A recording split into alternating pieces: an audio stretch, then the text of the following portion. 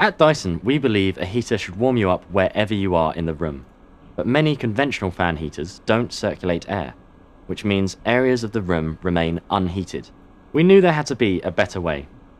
Inspired by technologies found in turbochargers and jet engines, our dedicated team of scientists and engineers developed a way to project large volumes of air. We call this air multiplier technology. One of our biggest challenges was to heat a room effectively without compromising airflow performance. To do this, we used positive temperature coefficient heating plates, which heat quickly and efficiently without disrupting the flow.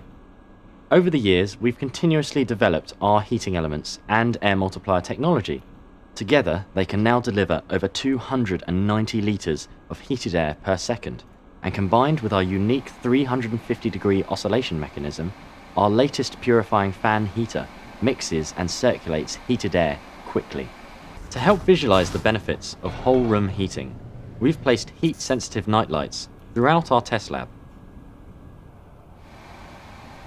As you can see, they're all reacting to the temperature change at an even rate, because heated air is reaching them wherever they are in the room.